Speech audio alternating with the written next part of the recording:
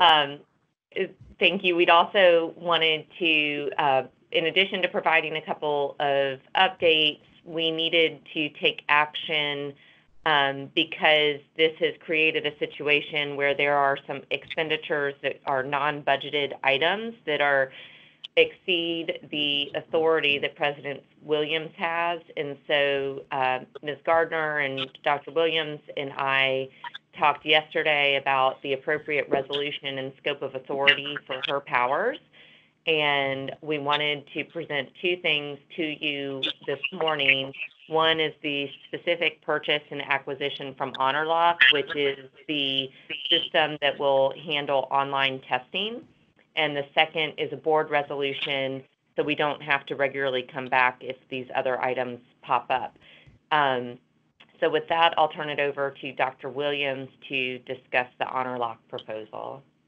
Okay, thank you so much. Um, I, I really appreciate you guys coming, um, getting up for this meeting. It's it's important to us, and, and we work as a good team. And thank you so much again, um, uh, Chair Cole, you have just been amazing, and I appreciate that.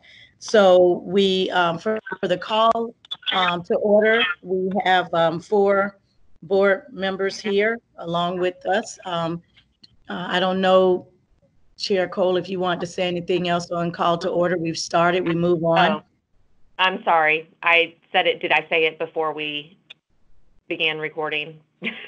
No, we were recording, so we're good. Okay, We're no, good. we're good. You All move on.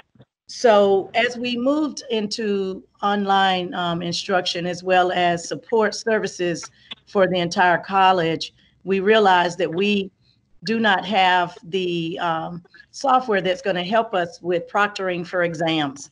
Um, prior to this uh, illness that we're going through right now as a country, we had students coming in for midterms and finals, even if they took coursework online. Well, we can no longer do that, especially um, with the space needed and and us not being open for service on campus. So we needed to hire a company to help us monitor students online using the cameras on their computers um, to ensure that they themselves are taking the test, make sure ac- academic integrity continues, and also make sure that they meet the criteria and they're not cheating. So um, we've looked at a couple of co- companies and came up with HonorLock. And HonorLock was the best price for us, and it's for the entire year for all of our students, which helps us a great deal. Um, it exceeds the 325 threshold of approval by me. It's 338, and we talked them down to 338. Um, and so we're asking the board's permission to um, engage in this contract so that we can go ahead and get our online instruction um, straightened out. We're going to end up doing online classes this summer as well. And so we really need some support there. So I'm asking the board's permission. So move, Madam Chair. Thank you, trustee Gibbons. Second. All in favor? Aye. Aye. I do want, thank you all. I do want to highlight one of the conversations Dr. Williams and I had was just the overall impact to the budget and what this is going to look like. And obviously, we don't know that yet. Um, but from a reserve standpoint, we do have reserves, which is, which is a good thing. But um, we, you know, I've asked her to have Ms. Hunt and her team continue to track that. They're obviously in the throes of looking at next year's budget as well. So um, hopefully, you know, we'll once they get a handle on some thoughts and forecasts, um, they'll pass that along to us. Is that an Thank you. appropriate recap, Dr. Williams? Yes, but we have one surprise. Um, yesterday, the foundation agreed to pay three hundred thousand of this cost. Um, and Yay! so- And so it looks like we That's made awesome. That is fantastic. Um, and so um, Jesse had been working on this and they have the funding to pay 300,000 towards the 338. So we're looking at our Perkins funds um, and we have sought um, approval to get the 38 out of Perkins. So this would not necessarily hit the um, operating budget, Chair Cole. And so we're very happy with that. We're looking every purchase, we're looking at ways to utilize existing funds without going into operating funds as much as possible. Thank you, and please pass our regards on to um, the foundation board as well. This is exactly the type of cooperation we've all been hoping for aft- out in the past few years. Yes, yes, will do. So we had a first and a second, all in favor. I don't know if we, did we do that part? We did that, yes. Okay, perfect. Yeah. Sorry. All right. And then the, the next item is seeking the board's permission to increase the threshold for the authority of the president to make critical decisions in a timely manner with the virus going on. Things are moving faster than the speed of light. Um, to increase that from 325 to 500,000 with the board chairs um, involvement and approval as well, like making sure I'm not just still making the decision solely by myself, but that going to the chair of the board and making sure that the board is made aware, um, seeking that authority. This particular situation, we really need to get it done last week. I think I tried to reach uh, Chair Cole then, and she luckily responded. And so we got HonorLock to hold a little bit to to get us to this date for approval. And so we're asking for approval from the board to allow the threshold to increase to 500,000, even if it's just for this time, um, for the, the crisis we're going through, um, with the board chair's, um, involvement and approval. What's the uh, timeline we're going to uh, look at for that as far as this language is concerned? You know, Chair Stonecipher, I, I don't know how long this virus is gonna last. Um, but if we could do it through the end of the summer term at least, maybe that will help us some, hopefully. Um, or till the end of July. Yeah, Um, let's, I, I'd propose we do till the end of the summer term and then revisit it if necessary, just so that there's a time frame to, to look at it again. Very good So point. we're Thank you. So, Miss- Mr. Stonecipher, is your, your, your, um, is that a, are you making a motion? Yeah, I, I'll, I'll move to approve um, the $500,000 threshold to be revisited at the end of summer term 2020. I will second that motion as long as that, as the motion has a sunset date at the end of July or summer term. So that, so that if, if nothing hap, if nothing is needed, that it, that, that it only goes through the summer term. And then we can talk about it. Agreed. Got it. Sorry, we didn't Yep. catch that yesterday when we were looking at this.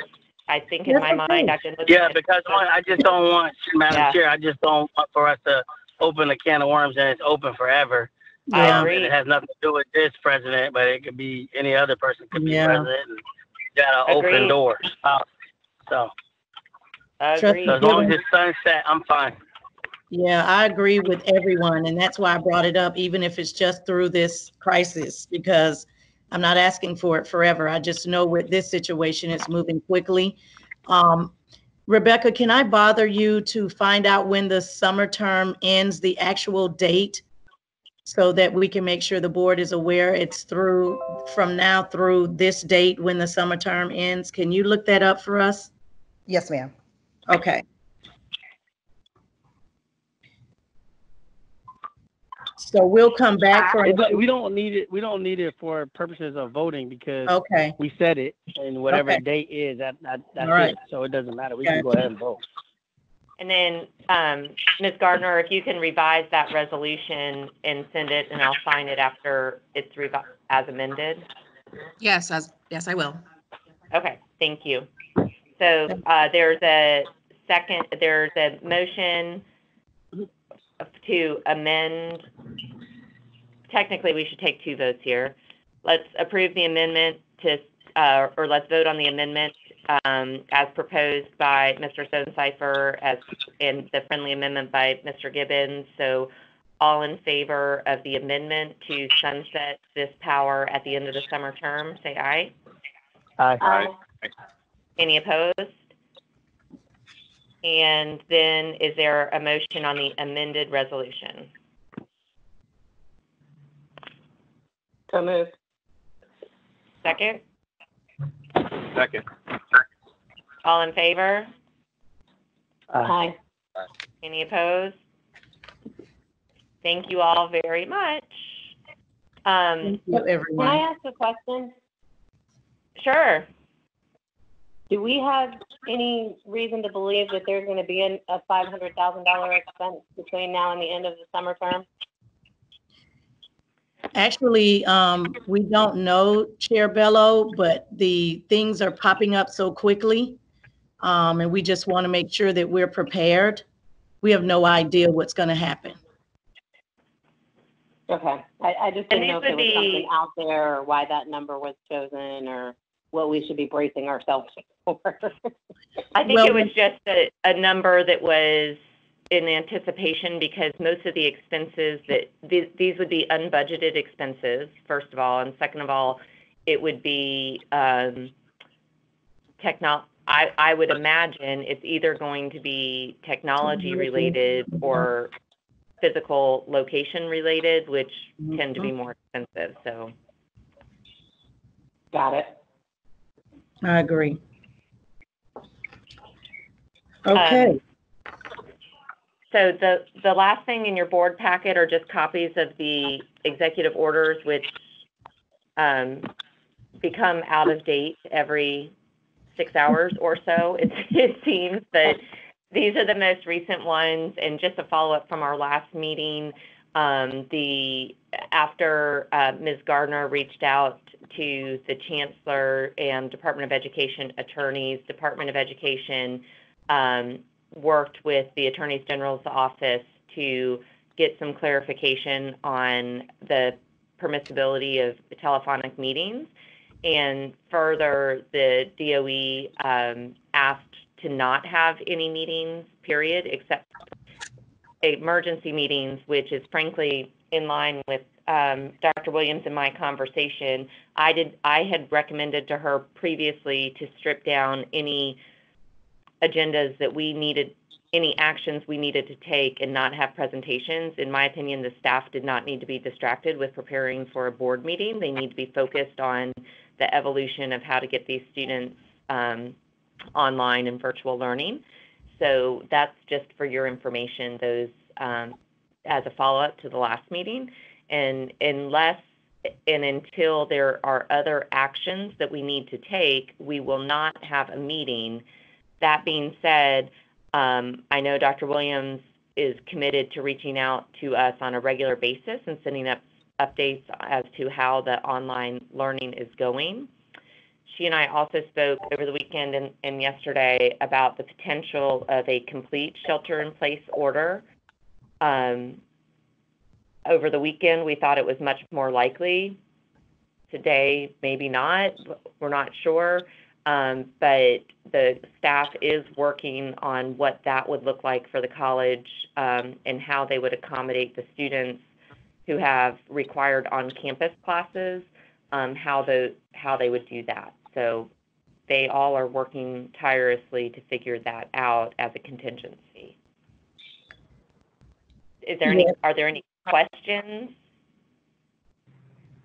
I have a comment, Chair Cole, if that's okay. Yes, please.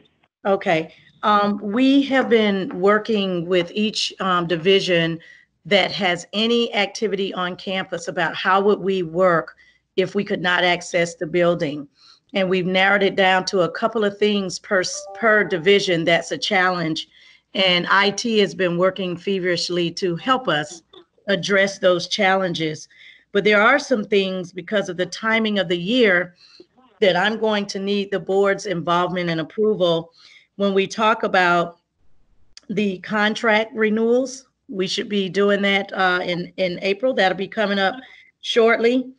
Um, As well as the budget. We're going to need to spend some time um, on the budget. We're waiting on the governor to um, finish uh, approving or whatever he's going to do with that budget. And we're looking at what our enrollment may look like. It's very nimble right now. Um, for the summer, we're still looking at online because we do not know what is going to happen and summer starts in May. So summer is right around the corner. Um, we also are looking at postponing our graduation ceremony. Um, many colleges have done it. We don't want to cancel, but we may have graduation in July for both spring and um, summer students. So we'll be bringing that back. And then we need to really look at things like um, I'm slowing up on hiring new staff and looking at ways to keep the budget in shape and making good uh, financial decisions. So we probably, I'll be sending you information on it, but I think that the board is going to want to talk about some of those things from time to time as well. So I just want to make sure you're not left out in the dark and not able to meet as a group to talk about the um, issues at hand.